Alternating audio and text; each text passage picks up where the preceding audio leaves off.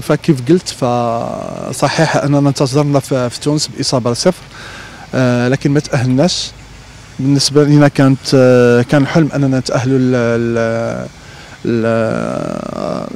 الدور الموالي لكن آه، تنظن الشيء الإيجابي والكبير هو رده الفعل ديال اللاعبين. النتيجه الفوز بواحد صفر ولا الطريقة وردة الفعل ديال معظم اللاعبين فكانت جد إيجابية مستوى كبير.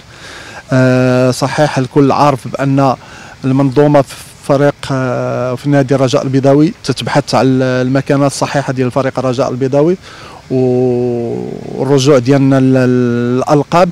آه، تنظن بأن المقابلات الأخيرة كان الشكل آه، مغاير. آه، لا في الأسلوب لا في ردة لاعب- اللاعبين لا في النتائج. فتنتمنى من الله عز وجل أننا نسيروا نفس ال- المستوى لتحقيق آه، نتيجة إيجابية يوم غد صحيح آه، فريق عنيد.